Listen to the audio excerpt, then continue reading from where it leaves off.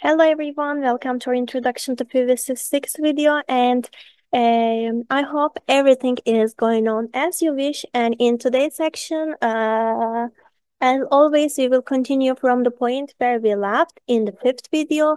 And as you can remember in the fifth video, uh, we talked about the warnings that occur in the PVsyst uh, system section and we said that uh, the first warning uh, was the inverter power is slightly oversized. We talked about the meaning and sense behind it.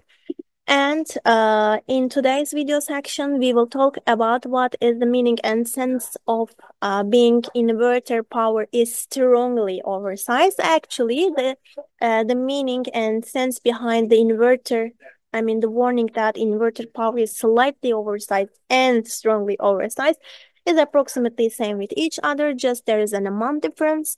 But let's again delve into the details of that. What it, what was the uh, meaning of uh, inverter power is strongly oversized. It means that, it says, it means that the inverter capacity is significantly higher than the peak power output of the solar PV system. It says if the inverter inverter's rating.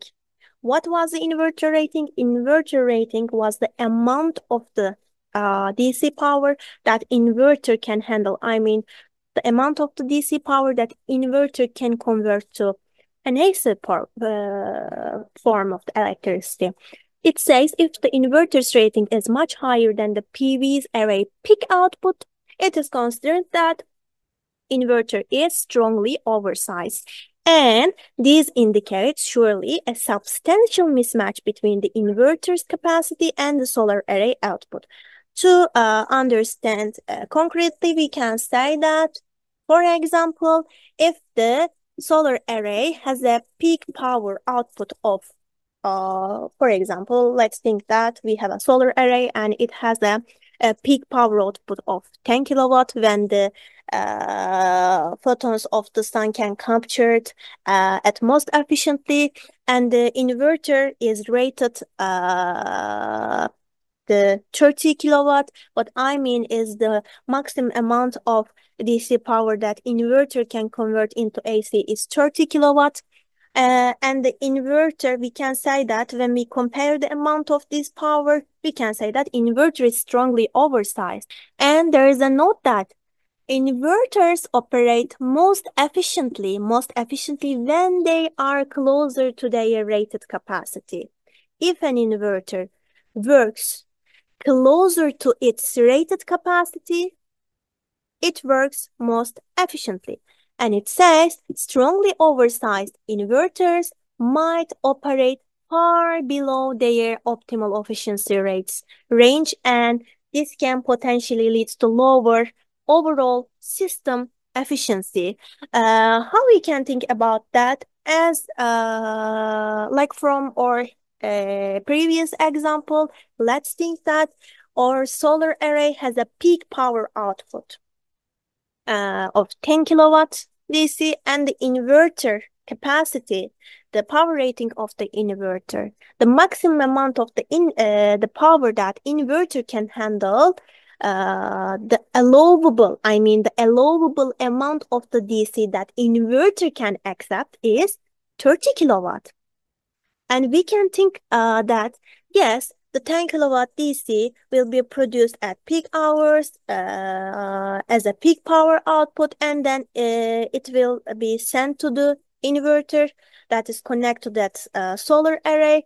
But since the inverter has 30 kilowatt DC, I mean the acceptable, the acceptable amount that inverter can handle is 30 kilowatt AC. The the uh 10 kilowatt will be converted into an AC format, but we can think like that. What will be the uh, amount of the capacity, the 20 kilowatt that we don't use? Uh, is it, I mean, will it be wasted?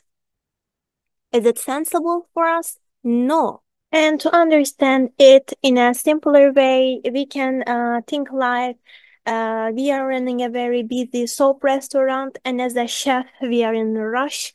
And um, even if there is a possibility to cook 30 liter of soap uh, just in uh, all at once.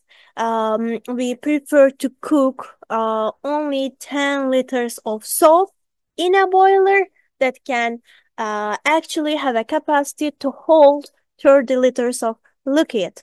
Do you think that it is a sensible uh, for a business to operate like that? Surely not.